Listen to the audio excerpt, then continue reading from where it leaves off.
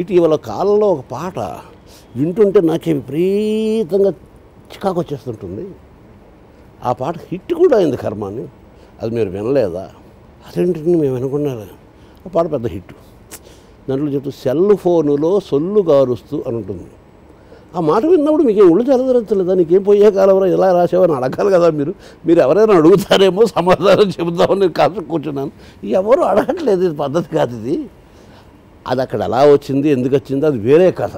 నేను రాయలేదు కానీ ఈ విషయాన్ని ప్రతి వాళ్ళ దగ్గరికి వెళ్ళి నేను చెప్పలేను కదా రాసేవాళ్ళ దగ్గరికి. అనేసరికి అందులో ఒక అమ్మాయికి చాలా ఉత్సాహం వచ్చింది. అవునండి సార్ పాటే వినాలి. అయితే మీరు కొన్ని తప్పులు చేశారండి. అందాల ఆడబొమ్మ అని మీరు ఆడదాని బొమ్మతో పోల్చారండి. మళ్ళీ నువ్వు అత్యుత్సాహం చూపిస్తున్నావు దాన్ని తిట్టమంటే ప్రతిదాన్ని తిట్టడమేనా? అందాల ఆట బొమ్మ అని లేదు కదమ్మా ఆడబొమ్మ అని చంటి మనం.